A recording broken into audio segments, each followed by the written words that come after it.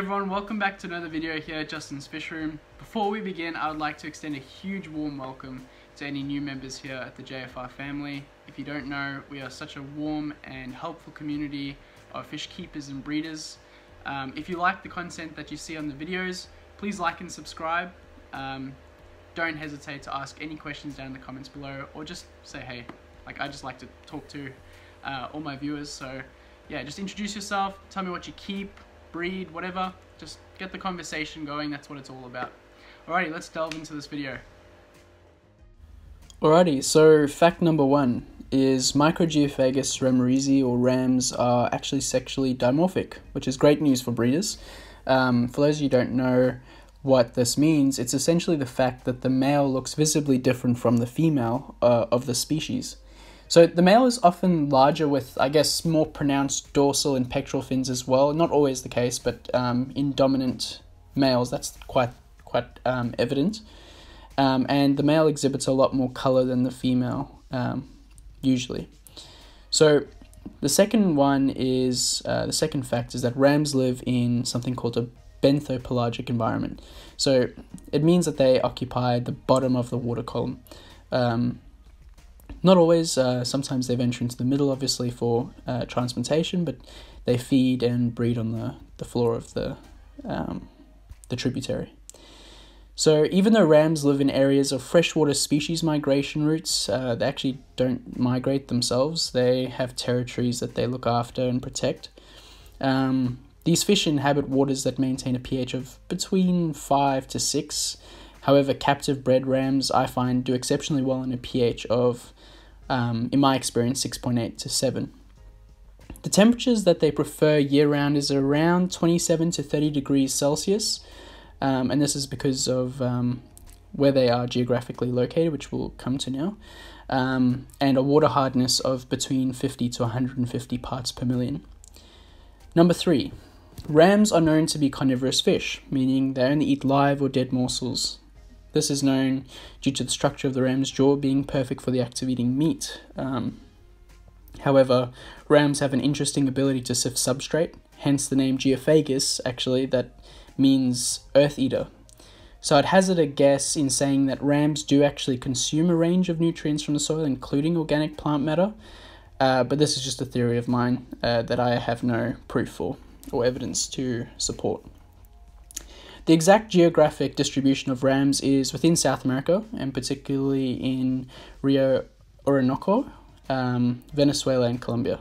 Um, I hope I pronounced the first one correct. Please let me know in the comments if I did okay.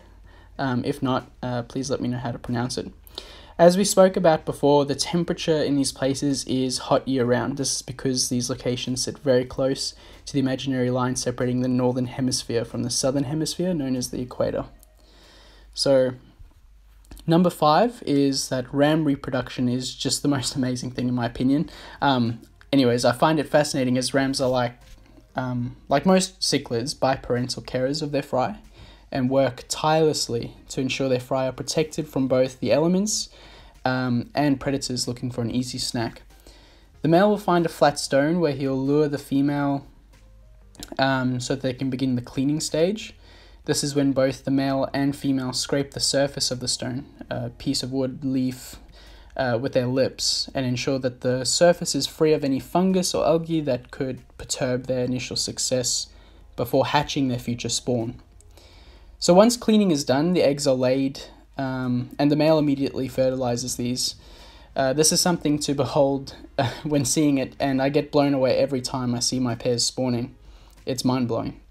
Depending on your temperature, it can take anywhere between two to five days for the eggs to hatch, and then a further two to four days for them to free swim.